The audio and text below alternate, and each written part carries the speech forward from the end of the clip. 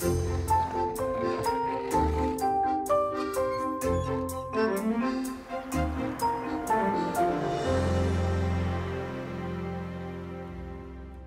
in a rare period of American history, one of effective energy independence. As a result, we have the opportunity to thoughtfully decide what we want our long-term, low-carbon energy production to look like.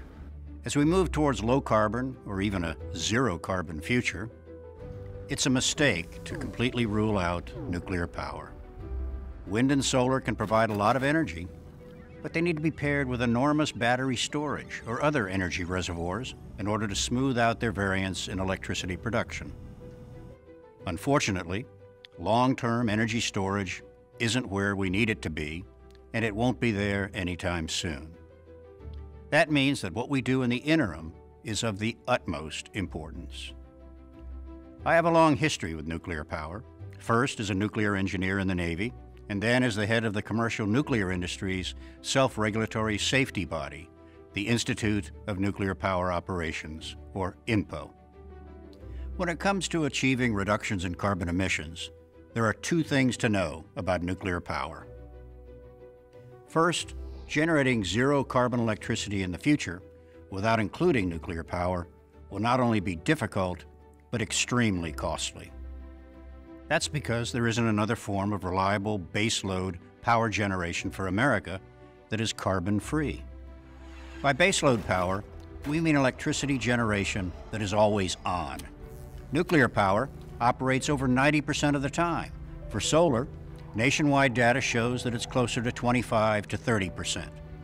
That means solar plants totaling 1,500 megawatts of power capacity are akin to a nuclear power plant whose capacity is 500 megawatts of power.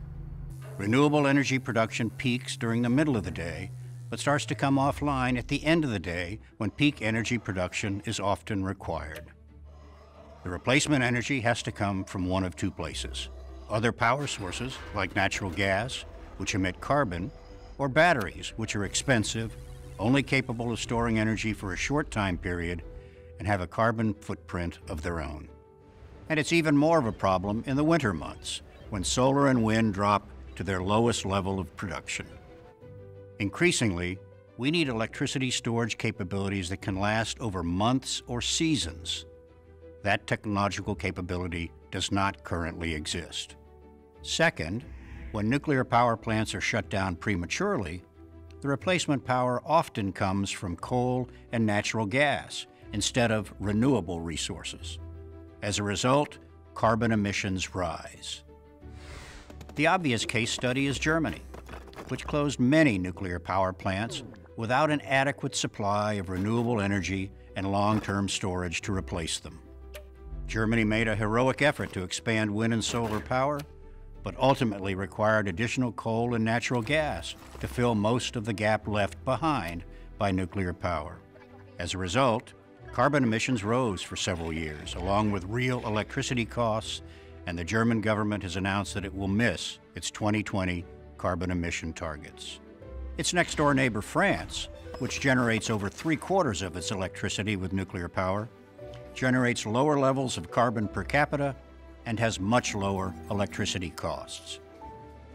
Back in the United States, many states have created renewable portfolio standards that mandate a portion of their electricity must be generated by renewable energy. As a result, wind and solar production is increasing.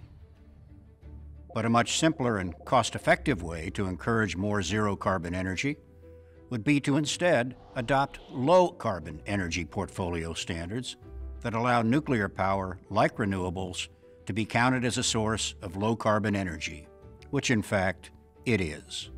Repeated studies and scientific data clearly show that nuclear power is one of the safest sources of energy generation, and dealing with waste is a political problem, not a technological one. If we're going to move towards a low-carbon future in a way that makes fiscal and environmental sense, nuclear power needs to play a continuing critical role. With the right combination of renewables and clean nuclear power, we can completely decarbonize our country's electricity generation. And that is a worthwhile and achievable goal.